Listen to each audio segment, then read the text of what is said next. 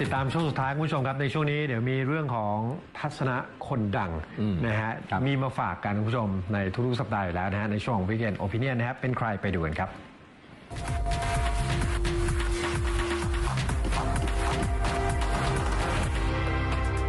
ต้องบอกเลยว่า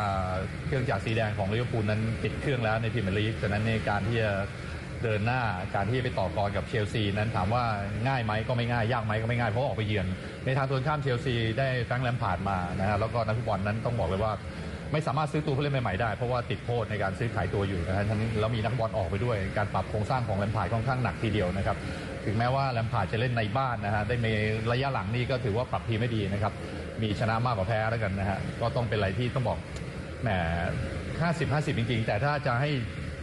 ชี้ชัดลงไปเนี่ยผมว่าเกมคู่นี้มีโอกาสเสมอก็สูงนะครับโอ้เสมอก็มีโอกาสสูงมากนะครับ แต่ถ้าจะบอกไปอีกว่าใครจะชนะแพ้นั้น ผมชอบสีแดงนะครับ ก็ในใจคิดว่าลิเวอร์พูลเนี่ยมีความพร้อมที่มากกว่านะคะ เพราะว่าสามประสานของลิเวอร์พูลตอนนี้เนี่ยก็ไม่มีอาการบาดเจ็บ แล้วก็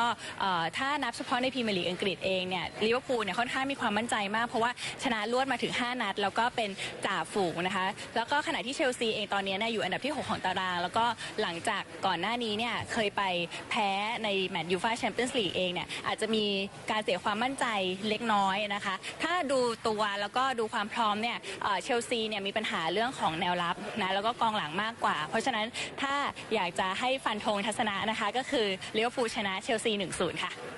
นี่นะคิดว่าน่าจะเป็นเกมที่สนุกเพราะว่าคือเชลซีเขาก็มีความมั่นใจกลับมาใช่ไหมส่วนเราเองก็ต้องการที่จะแบบคือเพิ่งไปแพ้นาโปลีมาไงก็น่าจะเป็นเกมที่สู้กันสนุก แต่ใจนี้น่ะนะก็ยังก็เชียร์ลิเวอร์พูลเนาะใช่ไหมก็ขอให้ผลการแข่งขันมันเข้าทางเราแล้วกันนะจ๊ะ ก็ ไม่บอกสกอร์ละกัน เพราะว่าไม่อยากเจิม แต่ก็เชียร์ลิเวอร์พูลก็ต้องบอกว่าลิเวอร์พูลอะ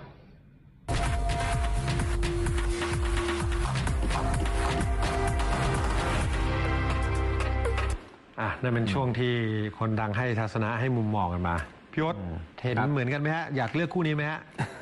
ที่จะฟันธงว่า ก็เห็นด้วยครับเป็นคู่ใหญ่ที่คงต้องผลการแข่งขันมันมันมีผลพอสมควรโดยเฉพาะหัวตารางนะครับถ้าลิเวอร์พูลไม่ชนะมันก็เหมือนกับแมนซิตี้ลดช่องว่างได้อ่าสัปดาห์นี้ แต่ผมก็ยังมองว่าโอกาสยังยังเป็นไปได้นะที่ลิเวอร์พูลจะอ่า ชนะได้นะ ครับ ด้วยอ่าด้วยเหตุผลที่เราคุยกันมาแล้วก็อ่าที่เด็ดของลิเวอร์พูลซึ่งซึ่งมีอยู่แล้วก็ความไม่พร้อมของซิตอ่าของเชลซีในบางตำแหน่งนะคครัรับอย่างแบ็คแบ็คซ้ายอย่างเงี้ยซึ่ง เอเมอร์สันเจ็บไปแล้ว ก็ต้องมาร์กอส อลอนโซ ซึ่ง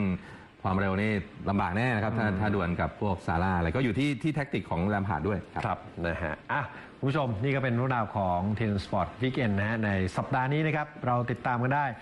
ทุก ๆ วันเสาร์และที่ 17นาฬิกาถึง 18นาฬิกานะครับ ทาง TNN ช่อง 16 นะฮะวันนี้หมดเวลาแล้วเราสองคนลาไปก่อนเจอกันใหม่สัปดาห์หน้าสวัสดีครับ สวัสดีครับ